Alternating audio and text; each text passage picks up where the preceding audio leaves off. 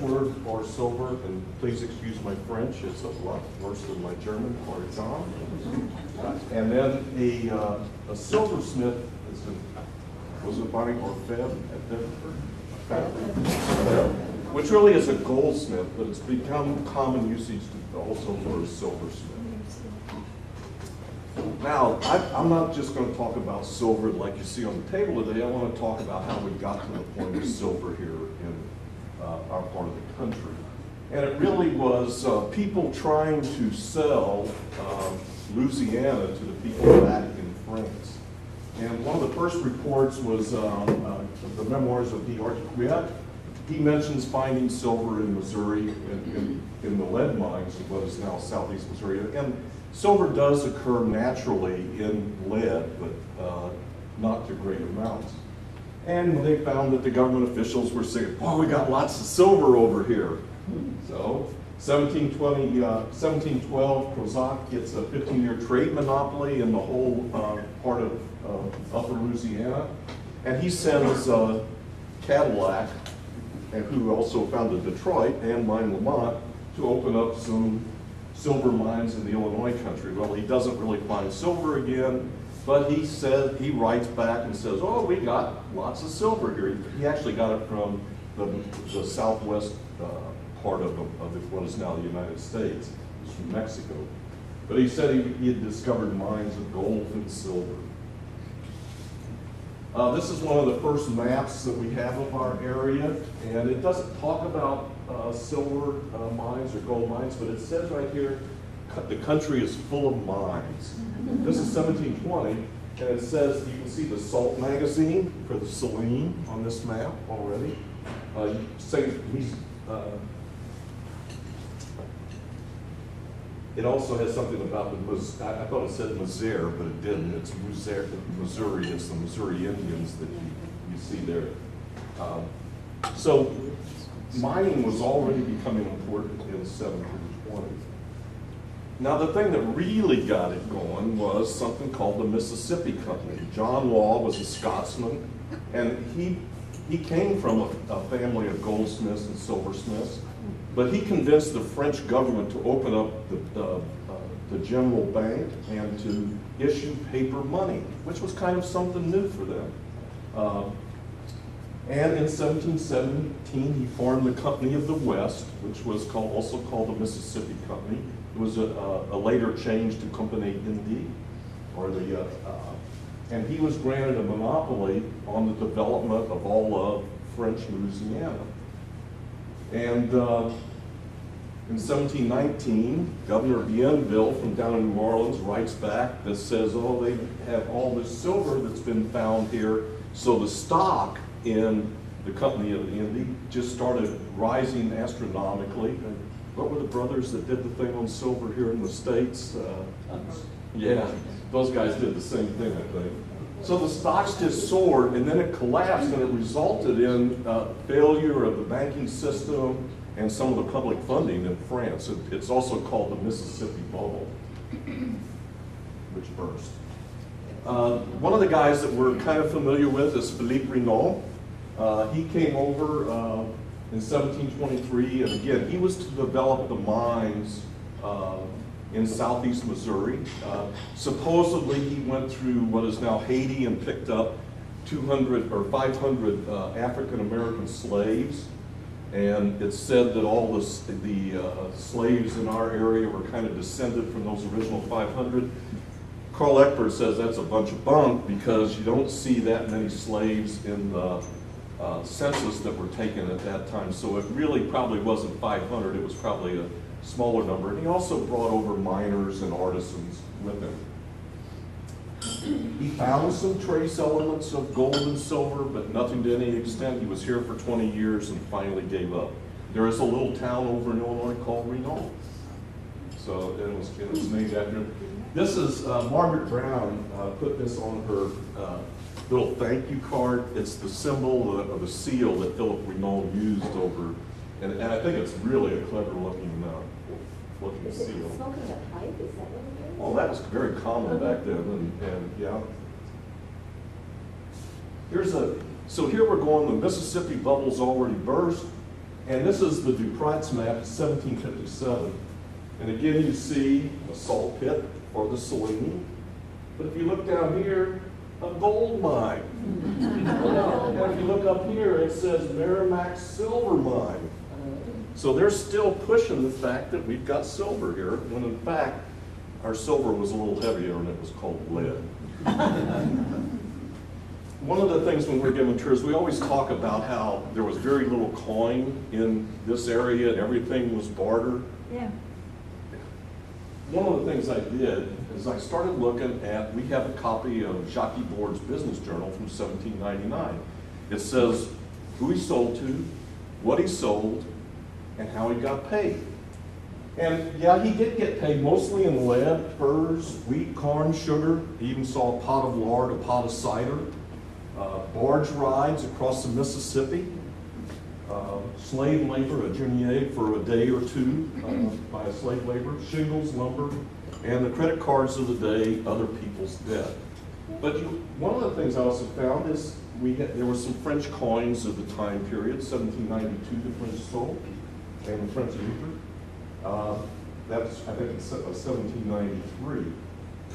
But I started looking at the transactions and I wanted, did he get paid in silver or whatever? Does silver show up? This is one of the things, uh, it says received in silver right here, and he got uh, Three River first. But Also, he received some in lead. So he was getting paid in silver occasionally. We don't know, it doesn't say if it was coin or it was just slivers of silver that they might, might have used. Uh, this is an interesting one. Uh, I started looking at it, and it says received in gourd. I thought, gourds? How, how, how was that such a, a, a method of payment? When you look back, that is really the coin of the West Indies. And it really surprised me. In fact, the coin of Haiti is called a gourd to this day. And it really didn't come into official place until 1813. But if you all remember, Jacques Guibourd was born in France, went to Saint-Domingue, worked on, a, on a, a plantation down there, escaped during the slave. So he's very familiar with this form of currency. So it's not really gourds. It's, it's a, it's a coin uh, that comes from the West Indies. Uh, he pays, paid out the silver at times when, uh, when, when he, when people would bring him stuff, he would pay it back. Uh, Mr. Colin's share here, it says donné en argent, given in silver, so he, a, one and a half liter. And then Mr. Bouvet, down here, uh, let's see, I kind of blew it up, it, it means to him given in silver. So he is, he is actually trading both ways, getting silver as payment and then getting, uh, giving silver back in, in payment for goods received. And I only found in his whole journal, I only found one item that was identified as a silver item that he sold. Uh, and he sold all kinds of stuff. We talk about uh, the French wearing handkerchiefs on their head, mouchoirs. I thought he had six in there. I, I counted them again today. There must have been 12 styles and colors of handkerchiefs. And by the way, the most favorite color was red. Mouchoir de Cholet. We always thought it was blue because they were mo- mostly Quebec people. No, No. it's red. But he sold to Monsieur Delassus. It's kind of interesting how he spelled his name, which is different than the way we conventionally spell it. But he sold two dozen knives and forks in silver. It's the only item in that whole uh, journal that's, that- Were that's those silver coins Spanish coins? Because I, I Well, They did have Spanish doubloons here, Yeah, and right. that's where they would cut them up into quarters. That's how we got our Oh, word quarters, yeah. and two bits or Right. half of a quarter. So that's, yeah. But again, I, I think traditionally we've said that there's not a lot of coin here, but there seem to be a lot more. And people used the coins, they would melt them down and put them in some other form, typically here, uh, spoons were a common thing, to take their wealth and keep, take it out of coins and just put it into things that they could use uh, on a daily basis.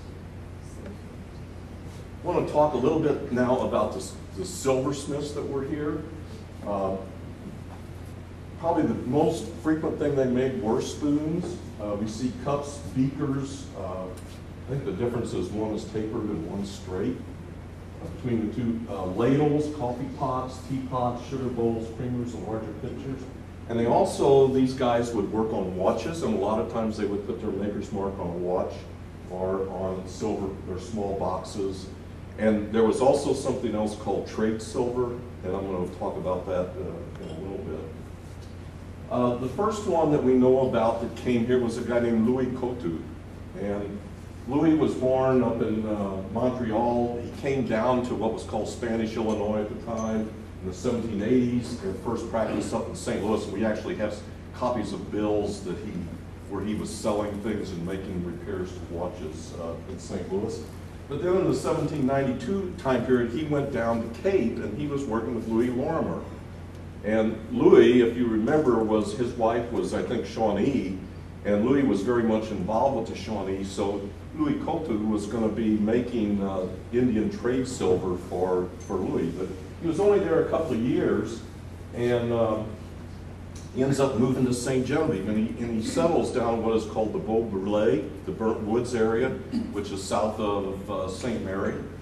Um, the settlements in that time period were St. Genevieve, New Bourbon, Nouvelle Bourbon, New Bourbon, Beau Brule, which is a subset of, of uh, well, I guess there was the St. Laurent, which is now St. Mary, and then Beau Brule of Burnt Woods. But this is actually a copy of the land grant that he got uh, in the, uh, when, when he moved here to St. Genevieve, and he built a, a cottage there, uh, a wood structure. And when we talk about trade silver, this is what the um, de bois that would go out and trade with the Indians for furs, and they would do anything from, probably the most famous of your typical ones you see are the cross of Lorraine. Uh, you have the thing, the gorgets from around your neck, arm bracelets, uh, pins, blanket pins, uh, sort of like this here. Uh, and you can see a variety of other kinds of pins that they would make. And they do this, do this in bulk. Uh, and it, it was a major, major trade item. Uh, we talked a little bit about trademarks, and I wanted to kind of introduce that. Um, there's two kinds of things that you hear about, poisson and cartouche. Um, a poisson is typically used to indicate this, the purity of the silver. Uh, and you'll see various, uh, various ones. Somebody asked how far they go back. 1674 here, they started using them. This is uh, the estate of Madame Gabrielle Sirit up in St. Louis in 1796. And it's a whole list of some of the silver. She had a silver mug with a Paris touch mark. Here they're calling it a touch mark rather than a, a hallmark. Uh, she has some boat, uh, sauce boats of silver without a touch mark. But here they're calling the marks Poisson rather than a cartouche. And it turns out a cartouche is really the kind of the thing that goes around the hallmark, according to uh, a, a silver guy in St. Louis. And you'll see different shapes. You see uh, rectangular ones, circular ones. I'm going to show you one that's in the shape of a shield in a minute. But they have, some of the European ones get very, very, uh, sometimes it's a, um, like a trapezoid. But it's, they usually would use like a metal punch here to actually stamp that mark in their silver. And there was really, they did two things. One, they identified, and a lot of times, how much the purity of the silver was, and then the other thing was who made it. In the pieces you see of St. Genevieve silversmiths like Coutu, it, you're not going to, they don't do this, the purity thing, but they do, I do the identification of who it, who it was. Now we had, he's the first guy, and we really don't have a lot of pictures of pieces that he made. There's a guy in St. Louis who has collected silver for years, and he's kind of a local expert on mid-Mississippi Valley uh, silver. He believes that this spoon was made by Coutu, and this is the mark here. It's more in a shield, and it's got a C in it. and it's on the back of, back of the spoon. They would typically mark the back of the spoon, and sometimes there would be initials on the back for the family that they were uh, making it for. And how he kind of came to this co- uh, conclusion, here's a 1790, 1789 bill uh, in St. Louis, and he signed his name right here, Louis Capoon. And you can see that that C is very ornate. And when you look, it's, that really wasn't a clear picture, but this hallmark is the same thing. So um, Maurice has decided that that is a uh, Louis Vuitton piece of silver. The other day, I was giving a talk to the Rotary on national politicians that had St. Genevieve connections, and somebody asked me if I was going to talk about their sexual preferences and stuff, and I said no. But it's always good in a lecture to throw in sword fighting and sex, so I'm going to give you a little. Louis Cateau, uh, back in those times in 1795, there was a lot of intrigue going on about people trying to overthrow the Spanish government here, the British coming in. So in 1795, the lieutenant governor said, you've got to arrest Louis Cateau and send him to New Orleans, which he did. But then Vallé writes this letter, says he's an upstanding citizen and everything. He was down there for a while, and so he got off of it. He came back to St. Genevieve, but that was not the end of his problems. 1796, he gets in bad, in, in sorts of bad sort of way with the parish priest, Father Saint Pierre, whose name was really Heligostein or something like that. The French called him Saint, Saint Pierre. Well, Louis was living with an English woman, and he wasn't married to her, and they had two kids. And the priest was really upset. If you, in colonial St. James, there were two powerful people in town, three actually. The parish priest, the commandant, and the captain of the militia. Well, the parish priest kept saying, Louis, you gotta come see me after church. I wanna talk to you. Louis didn't do it, so he writes him a letter. Louis blows him off again. So the priest writes the commandant, who at that time was Francois Vallé and said, you gotta do something about this. This is really upsetting the community. So Vallé writes a letter. And uh, he says that, that, let's see, you have to expel from his house an English woman within 24 hours because their cohabitation is contrary to good morals, morals and to the ordinances of his majesty. Well, Louis doesn't kick her out, but he marries her. And so her name was Josette Parker, and here is the marriage contract out of the uh, church bulletin where uh, he marries Josette Parker. So that's the sex thing that you're going to get. Frank says I can do better than that. Uh, the next guy I want to talk about, and I'm only going to talk about him briefly, and that's a guy, a guy named Louis Robitaille. Uh, he was uh, apprenticed in Quebec and came down to Fort Detroit and eventually came to St. Genevieve uh, in the 1790s.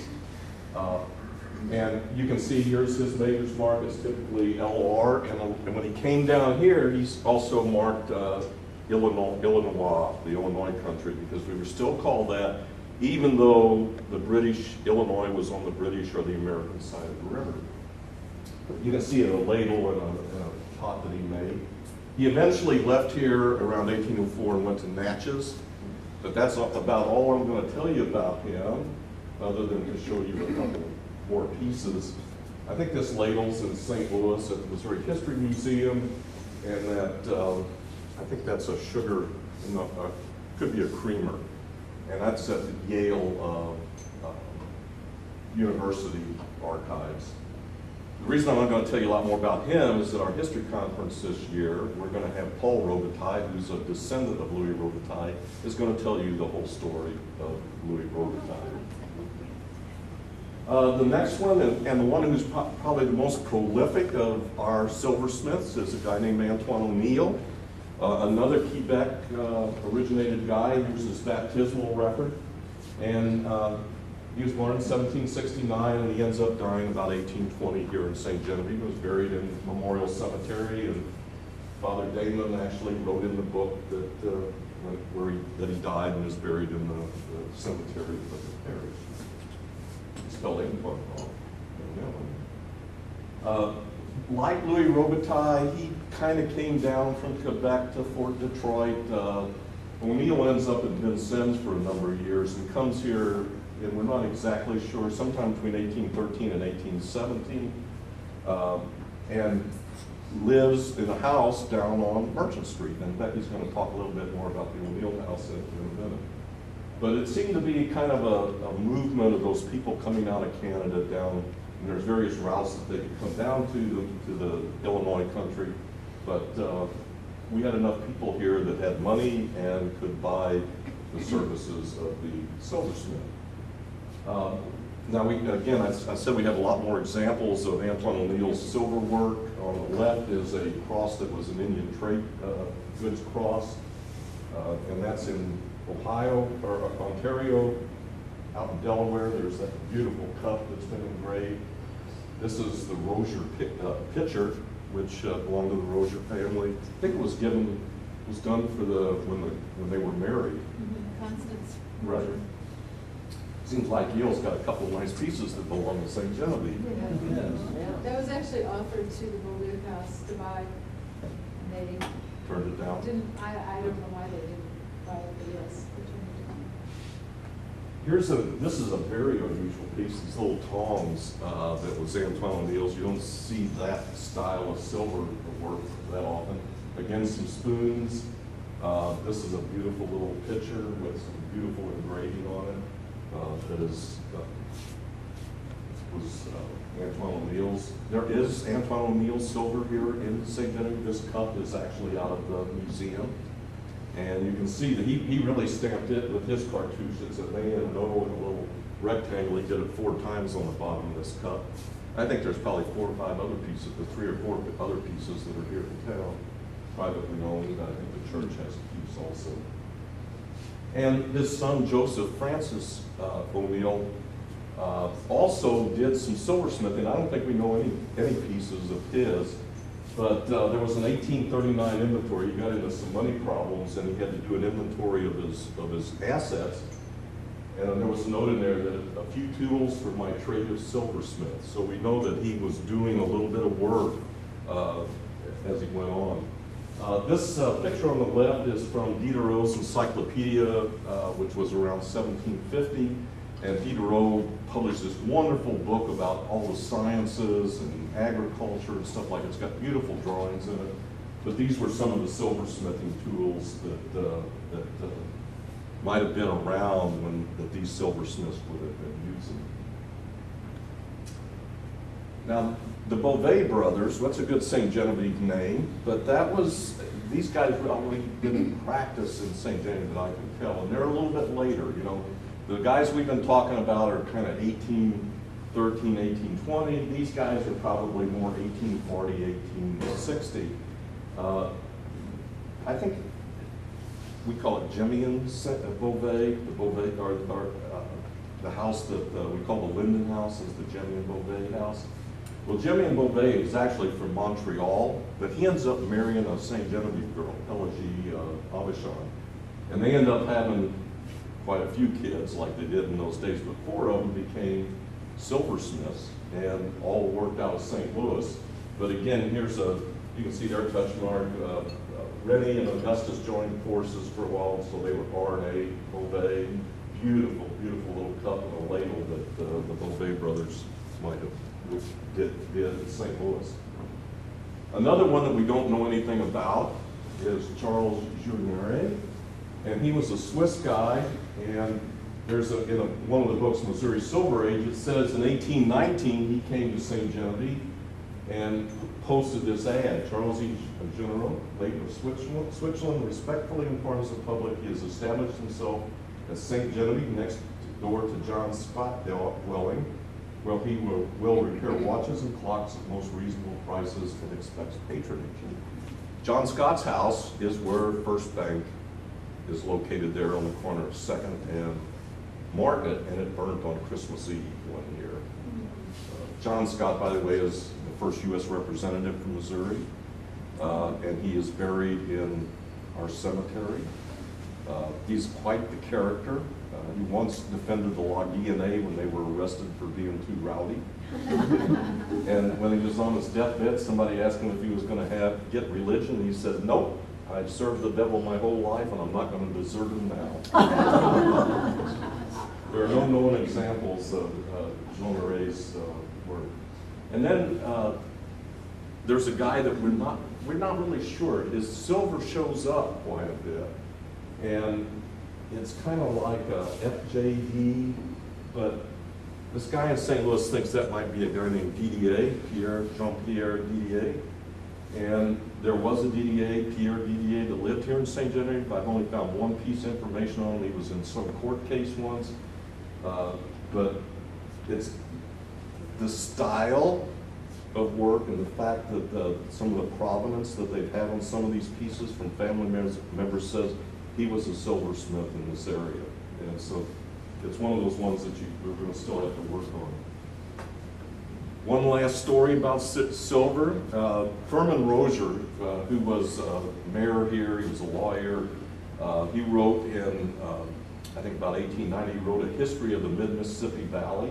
And in that, he tells this story about Louis Bolduc. And uh, Louis Bolduc, he said he was an old merchant and became very rich. And there was a guy that had come here, Thomas Madden, an Irishman who was a surveyor. And Madden had a little money, so he, took, he bet Mr. Bolduc one day that he had more money than Louis Bolduc. Well, Louis sends a slave down into the basement to get his half bushel of silver, and that was the end of the bet. Madden walked away, so. You really saw that? You really, you really found that record in Yes, the file? yeah, it was in Firmin. It's one, it may be true, it may not be true. It's one of, it's one of the legends of St. John. I've never believed that. Uh, various uh, books I s- suggest, if you, there's a great one that's called uh, uh, Missouri Silver Age by uh, Norman Mack. It's got a lot of the St. Genevieve and and St. St. Louis silversmiths in there. Uh, The Silversmiths of Old Detroit, and I think, Becky, you said you found that online, uh, which is good because like Louis Robitaille and Antoine O'Neill came through Detroit. Uh, There's one on Indian silversmiths, uh, silver in the fur uh, fur trade. And I found one, uh, there's a nice bibliography, it's a whole website on just books related to silversmithing. So if you want to, want to look something up. So that's it on, whoops, I forgot to mention, this is uh, one of Becky and I's main contacts, Maurice Midlands in St. Louis. He's been collecting mid-Mississippi Valley uh, silver for years. Uh, He sells it, he collects it, uh, he appraises it. I think he's looked at this collection many years ago. Uh, But he is always looking for Mississippi-related silver, so if you come across some that you, uh, he'd love to hear from you, because, because it's, it, I mean, he's truly interested in, in knowing more about what, what uh, happened with our silver this year. Uh, Al asked me to talk about the history conference. that's coming up in late September this year, uh, the last, last weekend. Uh, We're going to start with an evening reception at, uh, down at the Bequette-Ribault House. Uh, Hank Johnson's agreed to open that up. It's one of the uh, five posting ground houses left in the United States. And then Saturday morning, we'll start out at the, well, at the community center, and we'll start off with Paul Robitaille doing his research on, on Louis Robitaille, I've seen his paper.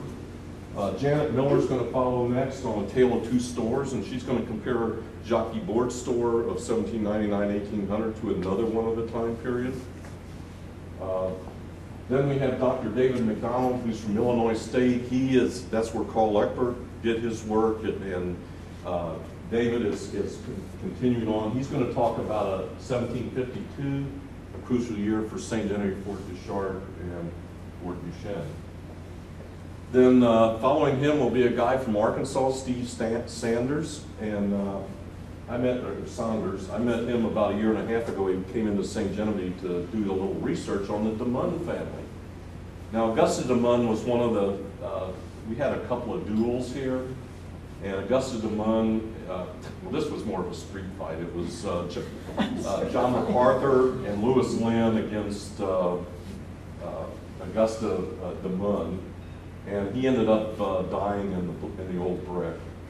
and is buried in our cemetery. Well, the De Mun family is really, after talking with Steve, a wonderful family. The father was a guard to King Louis XVIII. There's a De Mun Avenue in St. Louis, which was one of the brothers. There's a whole place down in Arkansas that the, another brother went to and founded an area. So Steve's gonna come in and talk about the De Mun family. Uh, Pleased to get Dr. Frank Nickel. Uh, Many of you know who he is down at Cape. He started the Center for Regional Studies down at, uh, down at Cape.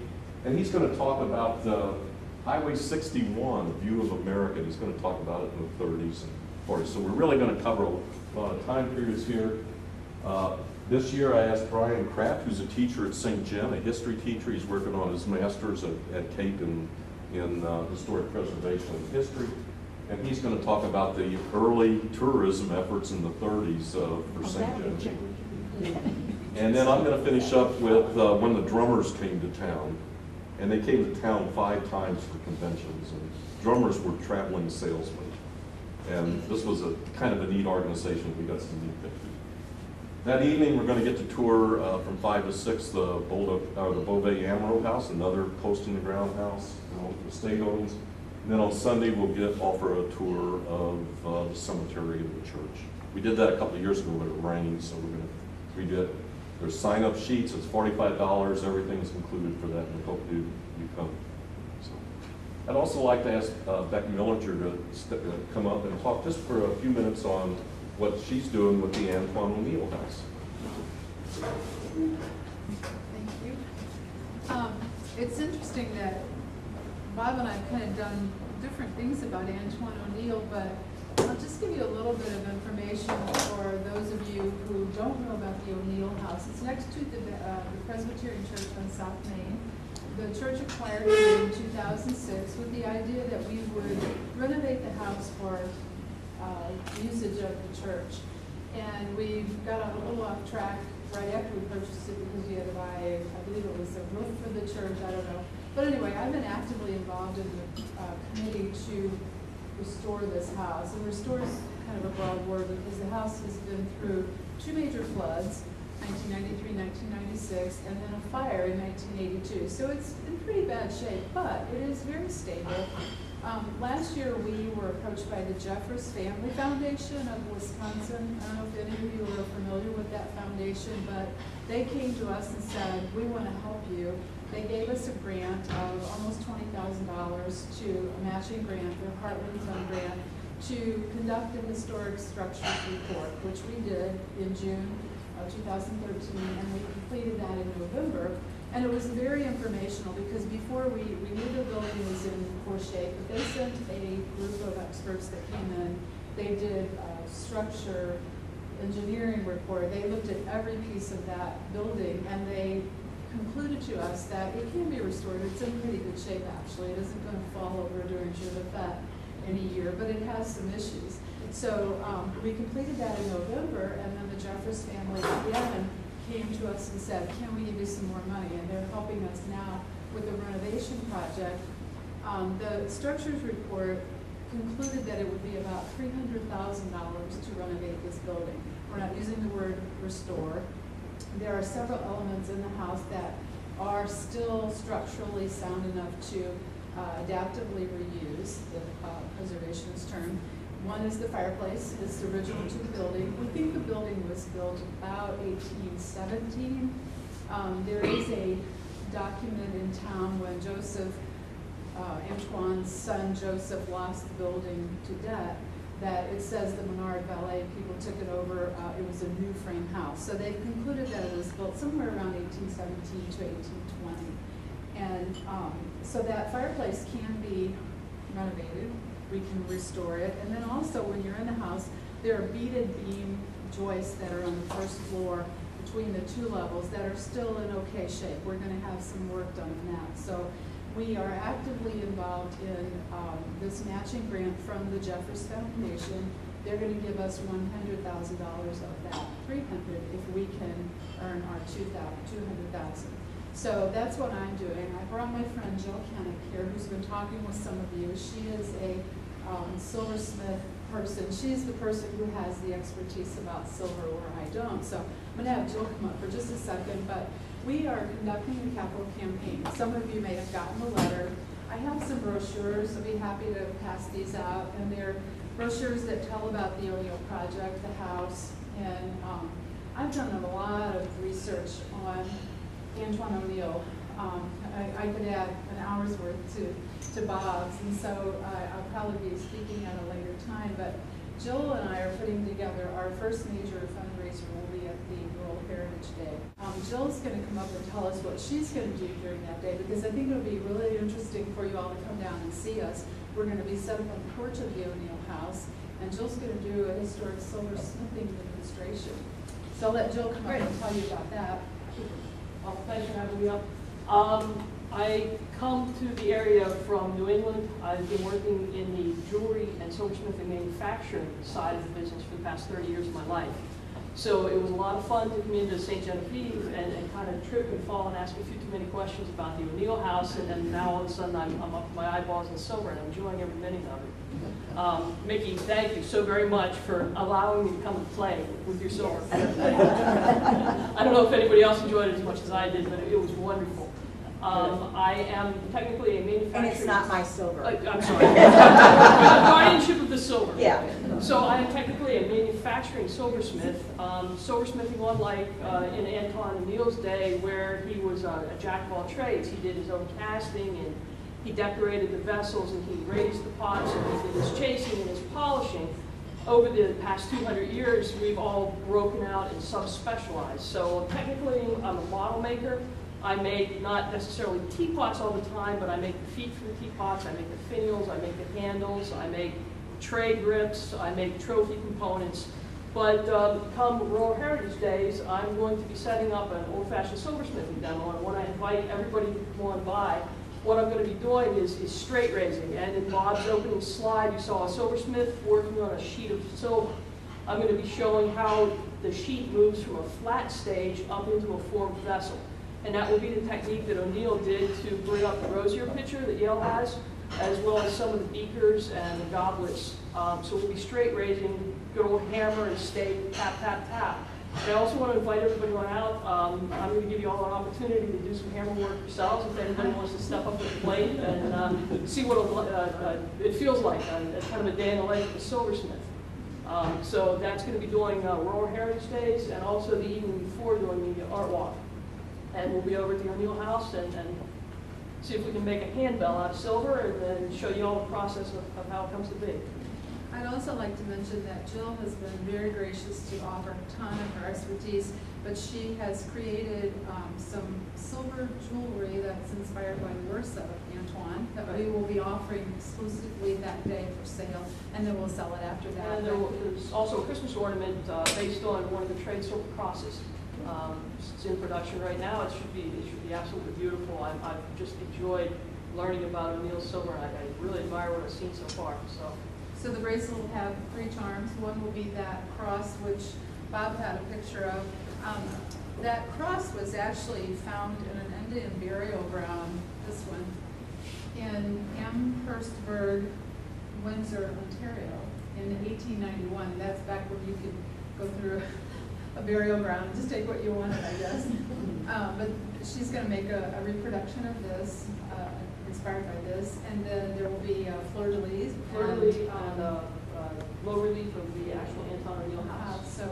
And on the back is Cartouche's hallmark, um, as, as tribute to O'Neill and what he's done. Um, A lot of good information about O'Neill and his presence in the community and the role of the silversmith community is coming out of our involvement with the uh, O'Neill house. One thing I didn't mention will be actually renovate the house. We will be using meeting rooms. We have a food pantry. I don't know how many of you are familiar with the food pantry at the Presbyterian Church, but we are open every week. Um, Ed Millinger, my husband, is actually the director of that, and we, we serve about eighty people a month. So one of our goals was always to expand that food pantry, and the back of the O'Neill will be a new food pantry that will have, uh, will have ADA access. Um, we'll also have a youth center up above where the kids, we have a lot of children from other denominations that join our church for Bible school and that type of thing. So those are some of our goals for that. So it's an astronomical amount of money that we have to raise, but I believe that we can. It's very worthwhile.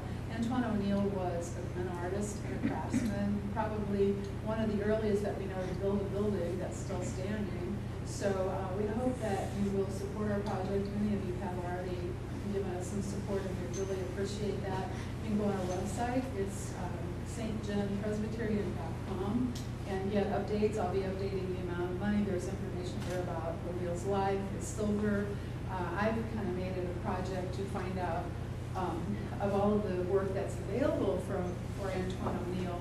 There isn't a lot, really. And I'm collecting images that we will put together for a directory. But there, for somebody who, we're, we're not sure if he was a good player, but we know that Indiana considers him their most famous silversmith. He lived in Vincennes. So it kind of tells you he was one of those people that did have a market mind. And so um, we really appreciate if you support us. If you have any questions, you can see me after. I brought some pictures of some of his silver that, um, that I know is around. So see me afterwards and we'll, we'll give you more information. Thank you.